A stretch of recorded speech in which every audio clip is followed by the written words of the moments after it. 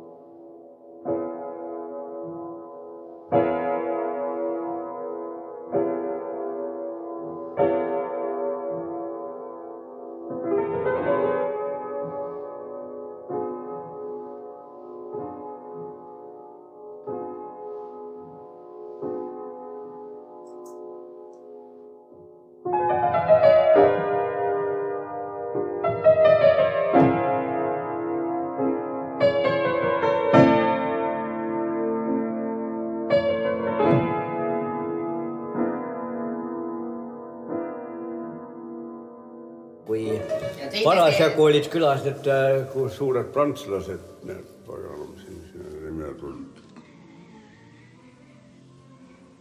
ja siis äh, oli noorteautorite seminar ja mina parasjagu kaitsesin Sass Suumanit meie grupis. Debora Vaarand oli juhendaja. sellest, kirjutasid jah?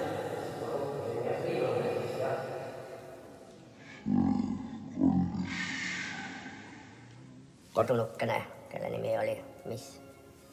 kes teab? Laht, Uno Laht, laht, laht jah. Uno Laht. ja siis hõikas üle ukse, et Juhan, tule kuula, kuidas Ellart kirjanike liitu sõimab.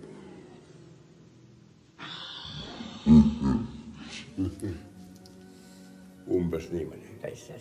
Juhan ei tulnud kuulama, aga pärast me kohtusime Kukus temaga. kun Nikolan tees opettaisi meillä, kun tässä konjakki tulee pyvää harrasmiehen muualle. No, aga loe, se järjestys ka. Mis järjestys?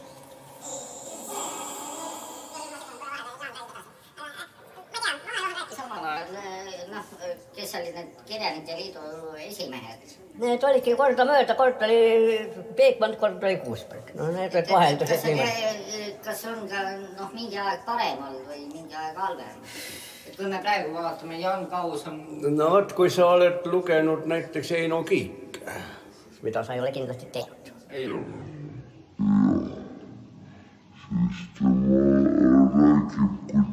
selle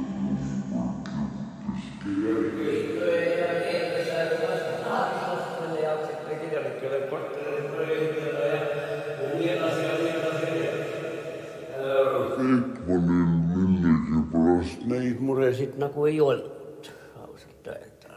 ta, ta, ega ta eriti midagi ei teinud ka. see mees, kes tegi Peekmanni ajal, see oli Arvi Siik.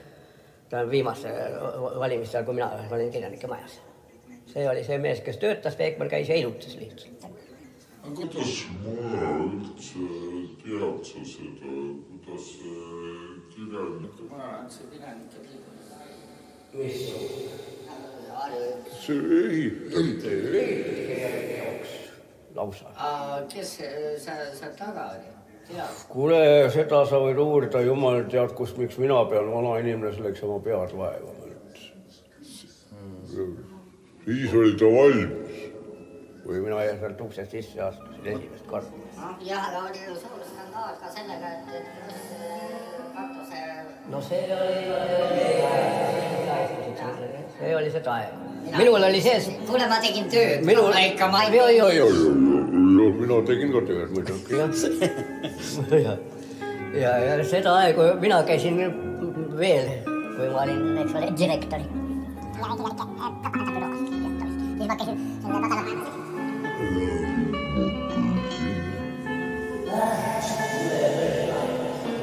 saaks luba seda meie kam- ja kuradi tuletõrje meile seda luba ei andnud, sest tema ütles, et peab olema varu väljapääs ja, ja selle varu väljapääs oli, tuleb, ma ei tea, kuhu, kuhu sinna sealt leppisime või välja, välja. nüüd teppinud. oli täielik jabu, jabur jutt. mina ei saanud, sest et ma ei tea, kuidas Juhan selle lõpuks ära organiseeris, et ta sai ehitama